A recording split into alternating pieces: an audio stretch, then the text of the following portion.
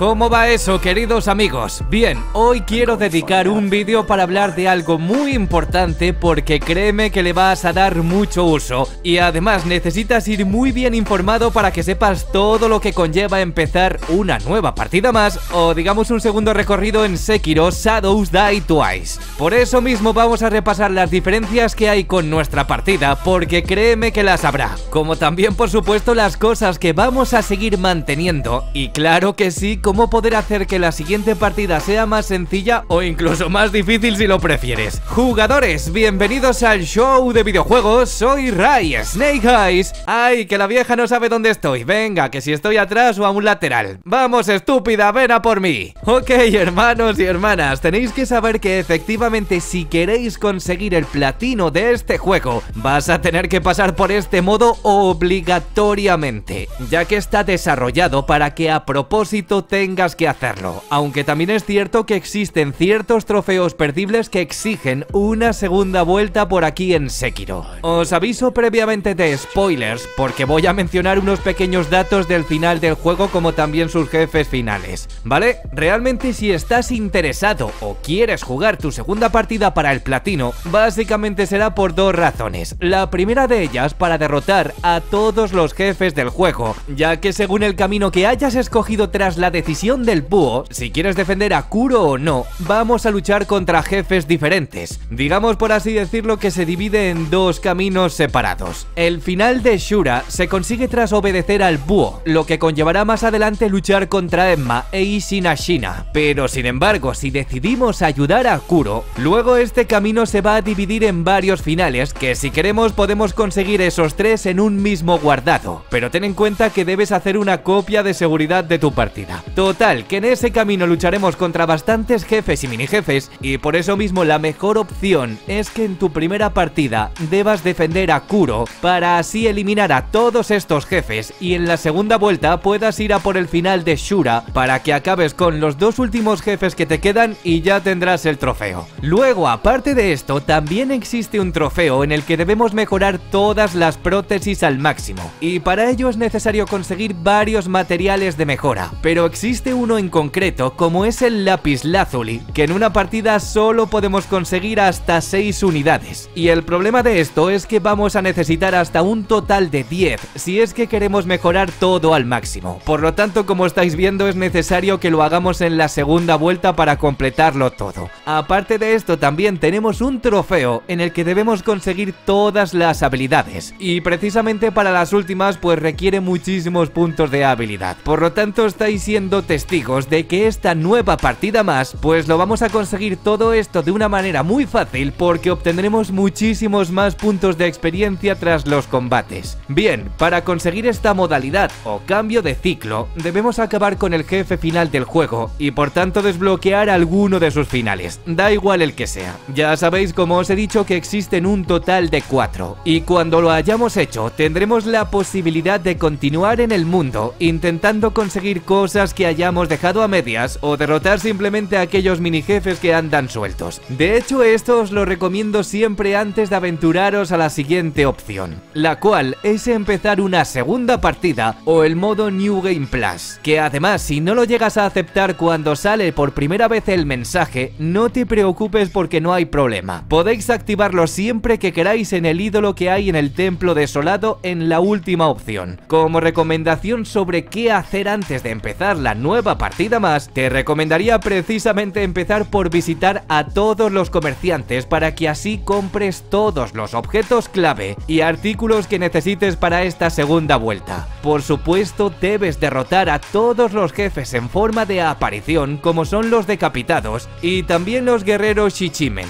Incluso también te diría que intentes conseguir cuantos más objetos consumibles porque más adelante van a merecer mucho la pena. Sobre los mini jefes ya sabes que es muy aconsejable derrotarlos a todos ellos para así conseguir por supuesto todas las cuentas de oración. Y las que también estén escondidas pues también. Con la semilla de calabaza por supuesto que sobra decir que cuanto antes te hagas con todas ellas pues será mejor para tu partida. Sobre los mini jefes ten mucho cuidado porque algunos de ellos se hacen inaccesibles cuando avances por cierta parte de la historia. Por lo tanto asegúrate siempre de derrotarlos cuando te vayas a cruzar con ellos y no lo dejes para para el final porque luego suceden estas cosas. Acaba por supuesto también con el jefe llamado Demonio del Odio porque aparte de conseguir un trofeo y un recuerdo, nos haremos también con dos unidades de lápiz lazuli. Y será mejor que lo derrotes en tu primera vuelta para que no lo tengas que hacer posteriormente en la segunda. Intenta también hacerte con todas las escamas de la carpa del tesoro, porque las que no utilices las vas a tener de vuelta en tu nueva partida. Y gracias a esto te va a ser muy útil para que más adelante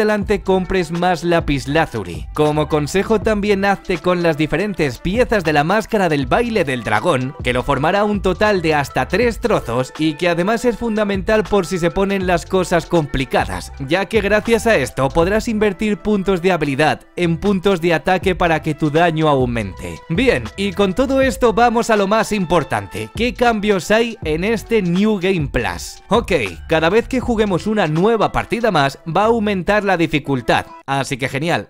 Esto quiere decir que los enemigos van a hacernos más daño tanto a nuestra vitalidad y sobre todo una jodienda como es rellenar todavía más rápido nuestra barra de postura. Parece también que los enemigos aguantarán mejor nuestros ataques y de hecho el máximo de New Game Plus para repetir es hasta 7. Digamos que una vez acabes tu segunda vuelta podrás volver si quieres pasar a la siguiente y así hasta un total de 7. Y lo peor de todo es que como estáis viendo se va a hacer cada vez más fuertes los enemigos. Por lo tanto, la verdadera dificultad difícil del juego es llegar al nivel 7 del New Game Plus. Muy importante es que al comenzar la aventura tendremos un objeto clave como es un amuleto de Kuro, que esto precisamente lo que hará es suavizar un poco la partida, ya que va a proteger al lobo. Pero debéis tener en cuenta que al principio del juego tendremos la oportunidad cuando veamos a Kuro si devolvérselo o no. Por lo tanto, si queréis un modo difícil, devolverle el amuleto para que las cosas sean todavía más complicadas y se convierta en un nuevo desafío para vosotros. Si resulta que te han soltado de hostias y luego te arrepientes, podrás luego hablar con el escultor para que vuelva a rebajar esa dificultad, pero recuerda que una vez lo hayas hecho,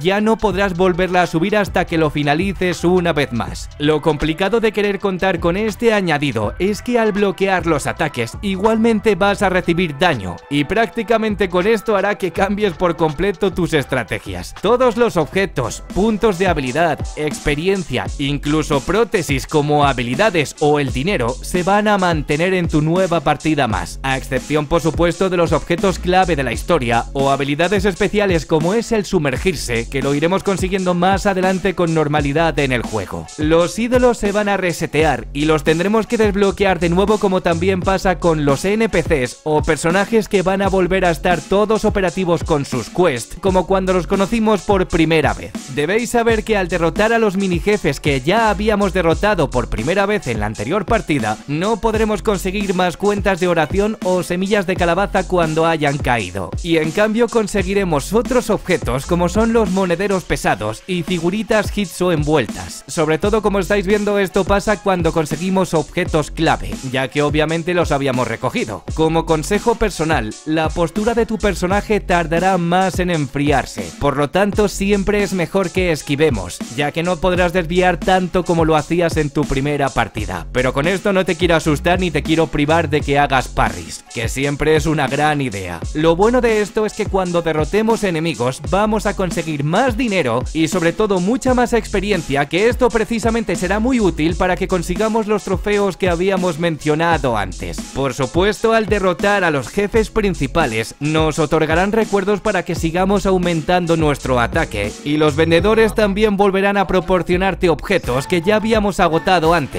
a excepción como siempre de los objetos clave. Por lo demás va a ser todo igual, y si llegamos a finalizar esta segunda partida, no conseguiremos nada en especial, simplemente aumentar nuestros parámetros como para seguir enriqueciéndonos, pero como hemos dicho antes, es necesario para el platino del juego. Y además siempre podremos volver a jugar una nueva partida más con una dificultad de hasta 7. Ok amigos, esto ha sido todo por hoy. Nos vemos pronto con más contenido y chao.